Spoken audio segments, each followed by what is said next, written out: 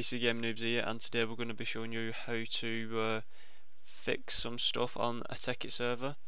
Um, it's the five main fixes I think.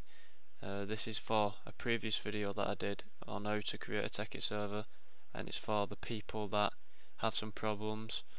Uh, the main ones are uh, login forge, uh, if people can't join, seven more, not enough memory and uh, if it cannot find your Java directory.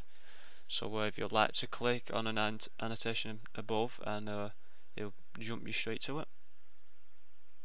So the first error we'll be trying to fix today is the server login forge.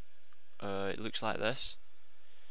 Now the way to fix this is by um, loading up your Tekkit and clicking options under the login and it'll always use recommended builds. What you want to do is uh, always use development builds and it should change up here to the latest one. Or you can manually do it. And I'm on 3.1.2 so you want the latest one. Just click that. Click OK. Log in and uh, join the game. Multiplayer server and uh, it'll work perfectly fine Okay, the next fix is if people can't join your server but you can join your own server.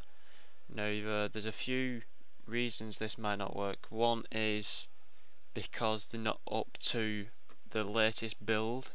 Um, that's the last thing I just showed you so make sure that they've done that. Make sure all 41 mods have actually loaded on the on the uh, Technic launcher uh, which you'll find on the MIM Minecraft screen and it says it on the bottom left hand side.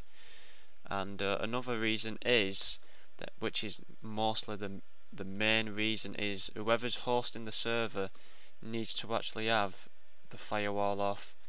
Uh, obviously I'll just do a quick run through for turn your firewall off is uh, control panel.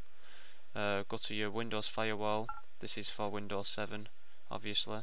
And you want your home network off so you can see here turn Windows Firewall on or off turn it off just like that and as you can see it's off there and it's gone all red meaning warning but you know not a big deal really um, if you're just going on your server and uh, an easy way to put it back together here is um, just click this little flag here click that there and boom your server's back online. Next fix I'm going to do is the 7 more fix. This is happens when you're loading your, your launch.bat um, and it says 7 more and it won't load anymore. Uh, the, the reason for this is because a mod is basically corrupt. Uh, a way to fix this is go onto your Tekkit server as here go on your mods here find the NetherOres mod which is just here and it's just plain and simple you know just delete it. Boom deleted. Now the next time you actually load this up it should load every single thing. You can join your server then. Anyone you know can join your server. So that's it for that one. The next thing is if you don't have enough memory. Now, uh, where to fix this is um, what you want to do is click on the launch, edit. I have Notepad++, uh, and basically it's these two numbers here. Uh, that's the minimum RAM. That's the maximum RAM it's trying to use. Uh, if you want to find out how much RAM you actually have, click Start, right click Computer, Properties, and it'll open up onto this one right here go onto your system uh, install memory 4 gig. So anything over that I should imagine wouldn't work. So uh, obviously if you have 2 gig rag, uh, rag RAM there what you want to put is um, maybe 1024 uh, M. And uh, which is which is uh, your highest and change this to something like 500 M. And I'll put uh, two uh, I'll put a code in this in the description below so you can just copy and paste it uh, different ones. But basically it's as easy as that. Just change the numbers so it's not above your actual maximum RAM usage and it should work perfectly fine. The next fix is for if your Java directory isn't found um, now the way I fix this because I don't know a lot about this so uh, if you do know how to fix this and there's an easy way just uh, please comment below.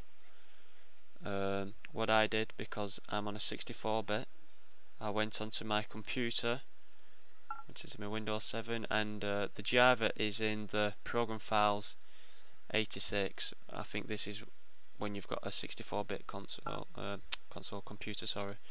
What you want to do is find your Java and you want to copy it not cut copy you want to keep it in there. Go into your program files here and paste it in here which I've already pasted which is there um, I run it then and it worked perfectly fine.